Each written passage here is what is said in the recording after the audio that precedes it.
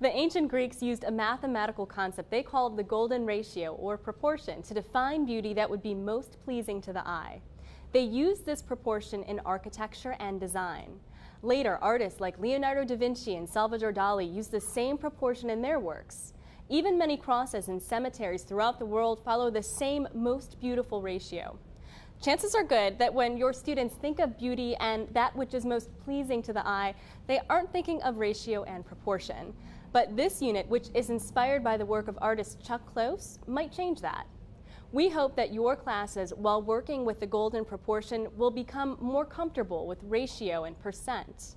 Comfort with these mathematical concepts gives any person a better way of seeing the world around him. With mathematical eyes and a solid knowledge of ratio, students will grow up to be better consumers. They'll know whether to buy a certain product in bulk, which gas company to choose, and even understand design better. They'll get it when it comes to things like tipping, proportions used in the health and insurance industries, or percentages shown on political graphs. They'll even be able to translate from the mathematical concept to a visual image or spoken word and back again. Their overall literacy will be dramatically improved. For that reason, understanding ratio, proportion, and percentage was included in the Ohio State Standards and is a valuable thing to be teaching. This unit is designed to support and focus your lessons. The unit begins with several PowerPoint presentations that introduce the concepts of ratio, unit rate, and proportion to your classes.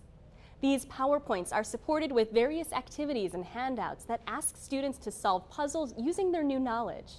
Your classes move on to the Fibonacci sequence and the golden ratio. They apply this to the Chuck Close artwork currently on display in the Akron Art Museum.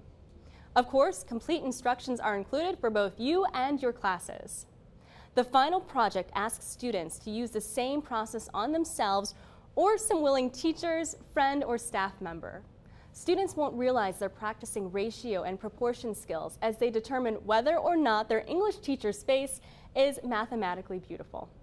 As always, we've included formative and summative assessments, teacher resource pages, student handouts, a hot list, a vocabulary sheet, and pretty much everything you'll need except the digital camera, the classroom, and the nerve to put your own face up for examination. We hope you have fun with this unit on ratio and proportion.